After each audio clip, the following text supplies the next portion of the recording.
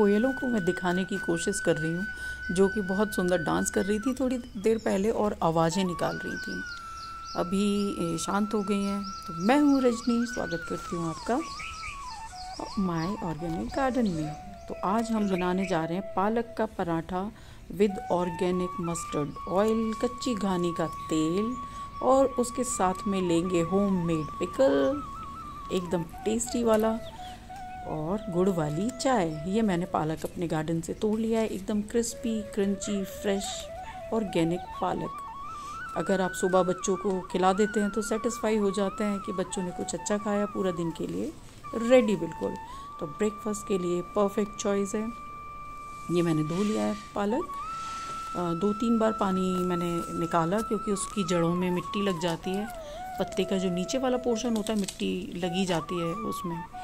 और इसको अब मैं काटूँगी। अच्छे से धुला हुआ पालक है और इसकी ये जो मोटी डंडियाँ आप देख रहे हैं, इसको मैं नहीं काटती हूँ। क्यों? क्योंकि ऑर्गेनिक पालक है और फ्रेश है बिल्कुल। तो ये बिल्कुल भी टाइट नहीं होता, चीचड़ जिसे बोलते हैं ना, वैसा नहीं होता। एकदम सॉफ्ट होता है। आप आवाज़ सुनेंगे इसकी। एकदम क्रिस्पी आवाज़ है इस पालक की, क्योंकि अभी अभी टूटा हुआ है ये और बहुत ही हेल्दी है। मार्केट से हम जो लाते हैं, उसमें कुछ भी नहीं बचता। पेस्टिसाइड्स डालते हैं और कितने हाथों से होके वो गुजरता है, कुछ भी नहीं बच पाता उसमें। और ये उगाना बहुत ही आसान है। आप कंटेनर्स जो फालतू पड़े होते हैं, उसमें बस बीज डालिए, पानी डालिए और ये तैयार है। और हाँ अपना हाथ बचा के इसकी चॉपिंग कीजिए। चाकू शार्प हो तो उंगलियों को थोड़ा बचा लीजिए और इस तरह से मोटा मोटा कोई ज़रूरी नहीं, आप जैसा भी काट सकते हैं, वैसा काटें, क्योंकि ऑर्गेनिक पालक है ना। तो ये बहुत जल्दी जैसे ही पराठे में, तवे पे आप डालेंगे, ये बिल्कुल मुलायम हो जाता है। मैं इसकी डंडियों को वेस्ट नहीं करती हूँ, और मुझे लगता है ज़्यादा कुक करने से ना, पालक की या किसी भी सब्ज़ी की, किसी भी किसी भी चीज़ को आप कुक करते हैं तो उसकी प्रॉपर्टीज़ मैक्सिमम ख़त्म हो जाती है। तो कुछ लोग उबाल के पालक को पीस के डालते हैं आटे में पर मुझे पसंद नहीं है। मुझे लगता है कि जितना मैं इसको कच्चा रख सकती हूँ, उतना हेल्दी रहेगा। तो मैं इस तरह से काट के और कई बार तो मैं इस तरह से आटा गूंदती हूँ कि आधा पालक होता है, आधा आटा होता है। बस बाइंडिंग के लिए मैं आटा डालती हूँ उसमें। मैक्सिमम पालक होता है उसमें। तो आप कम आटा डाल दें कम पालक डाल दें। कोई भी रेशियो रखें, कोई मैटर नहीं है। बस आप आटे को इस तरह, और हाँ सबसे अच्छी चीज़ इसमें होती है अजवाइन। आप अजवाइन को हाथ में लीजिए। ये लगभग एक चम्मच मैंने अजवाइन ली है और इसको हाथों से, हथेलियों से रगड़ के, इससे क्या होता है, थोड़ी सी टूट जाती है अजवाइन और इसकी खुशबू बहुत अच्छी आती है उस वक्त पराठों में। अगर आप साबुत डाल देंगे ऐसे ही तो ये ज़्यादा खुशबू नहीं देगी। और ये लाहौरी नमक इसमें थोड़ा सा मिला दिया है मैंने। आप भी कोशिश करें, क्योंकि मैं ऑर्गेनिक हेल्दी रेसिपी बता रही हूँ तो मैं नहीं कहूँगी आप नॉर्मल नमक डालें। तो लाहौरी नमक मैंने इसमें डाल दिया है और थोड़ा थोड़ा पानी लगा के इसको गूँथ लेना है। क्यों? क्योंकि ये पानी सा छोड़ देता है पालक। अगर आप नॉर्मल आटे की बराबर इसमें डालेंगे तो गीला हो जाएगा। तो बस थोड़ा थोड़ा करके इसको अच्छे से दबाएँगे लेकिन। सो ये पालक के जो जूसेस हैं, वो बाहर निकल जाएँगे रगड़ने से। ये आटा तैयार है मेरा और देख रहे हैं टेढ़ा मेढ़ा सा आटा है। ये मेरे हाथ में, आप देखिए। बिल्कुल जैसे नॉर्मल आटे की जो स्मूथनेस होती है, वो इसमें नहीं आएगी। थोड़े पराठे, थोड़े से इधर उधर डिज़ाइनदार निकलेंगे। डिज़ाइनर पराठे होंगे इनफैक्ट ये तो आप इन डिज़ाइनर पराठों को, और थोड़ा सा मैं इनको मोटा बनाती हूँ। मोटा बनाने का कारण ये है कि ये जो टेढ़े मेढ़े जो पत्ते दिख रहे हैं ना, मैं चाहती हूँ ये थोड़े आटे के अंदर होंगे तो जलेंगे कम। बिल्कुल पतला पराठा बनाने से होता क्या है कि आप जब तवे पे डालेंगे इसको तो ये एकदम क्रंची से और जले जले से हो जाते हैं पत्ते, क्योंकि बहुत ही सॉफ्ट नाजुक हैं ये। तो थोड़े से कोशिश कीजिए मोटे पराठे बनाने की, और उसमें पालक भी ज़्यादा आएगा और वो ज़्यादा स्पॉइल भी नहीं होगा। और ये जो मैं यूज़ कर रही हूँ, ये कोल्ड प्रेस्ड मस्टर्ड ऑयल है, जिसे कि कच्ची घानी सरसों का तेल बोलते हैं। और इसकी पहचान बहुत सारे लोग बोलते हैं मुझसे कि क्या पहचान है। ये मैं इसको ऑनलाइन मंगवाती हूँ एक साइट से। मैं इसका नाम नहीं बताऊँगी, अगर आप चाहेंगे तो बना, बता दूँगी, क्योंकि मैं इसका प्रमोशन नहीं कर रही हूँ। तो सरसों के ये जो कोल्ड प्रेस ऑयल है, इसकी पहचान ये है सरसों के तेल की, कि आप जब इसको कुक करेंगे ना तो ये आँखों में नहीं लगेगा। और ना ही इसमें कोई हीक सी आएगी स्मेल आएगी आपको सरसों की तेल में जैसे आती है नॉर्मल जो मार्केट से खरीदते हैं।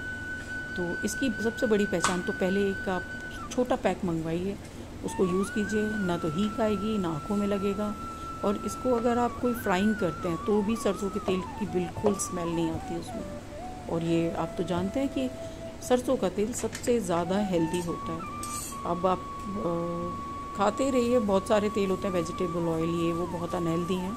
तो आप घी यूज़ कीजिए अगर शुद्ध मिलता है या सरसों का कच्ची घानी का कोल्ड प्रेस्ड ऑयल जो कि लकड़ी की मिल से तैयार किया जाता है। और थोड़ा थोड़ा ऑयल लगा के मैं इनको सेक दूँगी पराठों को। ज़्यादा ऑयल नहीं डालती हूँ मैं इनमें क्योंकि सुबह सुबह का खाना है। हेल्दी होना चाहिए बहुत ज़्यादा तेल और वो ना हो तो अच्छा है। अब जितना तेल आपकी बॉडी में ये पूरे दिन के लिए जा रहा है ये काफ़ी है।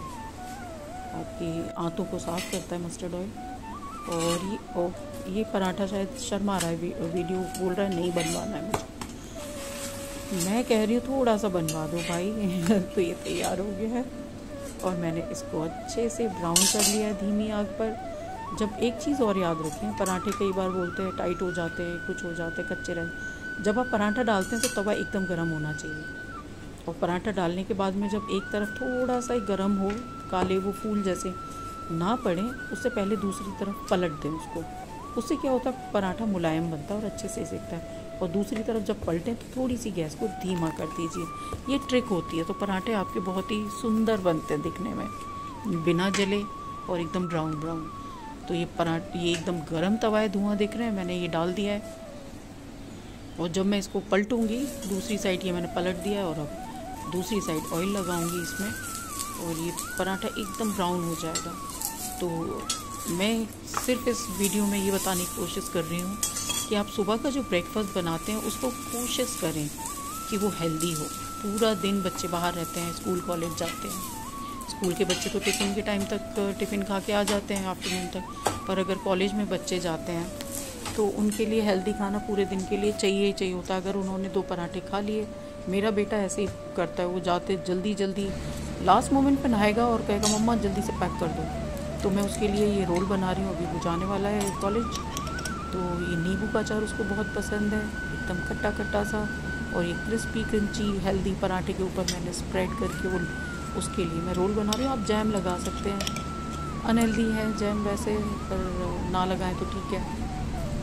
थोड़ा सा कुछ प्याज, टमाटर, चाट मसाला डाल के सॉस के साथ में आप रैप कर सकते हैं इसको। और ये मैं इसके लिए रैप करके रख दूँगी। वो आएगा तो खा के और भागता हुआ चला जाता है। तो आप भी जल्दी जल्दी में खिला सकते हैं रोल बना के और ये है मेरी गुड़ वाली चाय, जिसको मैंने अच्छे से आप अपने टेस्ट के हिसाब से बना लीजिए।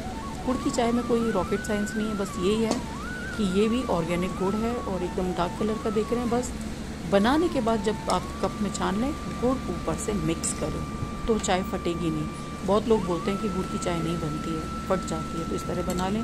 और ये मेरा होम मेड पिकल है organic organic mango cold press mustard oil इसके साथ मुझे पसंद है तो ये मैं अपने लिए डाल रही हूँ। मुझे उम्मीद है आपको ये वीडियो पसंद आया होगा।